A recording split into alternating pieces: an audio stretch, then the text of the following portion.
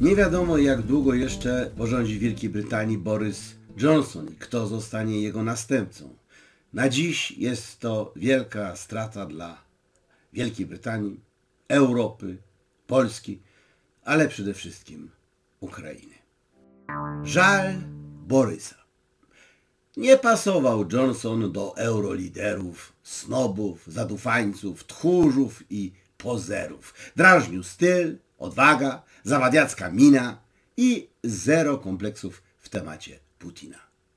Nadeszła okazja, znalazł się i pretekst, będzie nowy premier, ale jednak nie ten. Smutek w Ukrainie, radują się Niemcy, bo ostatni taki Borys to był Jelcyn.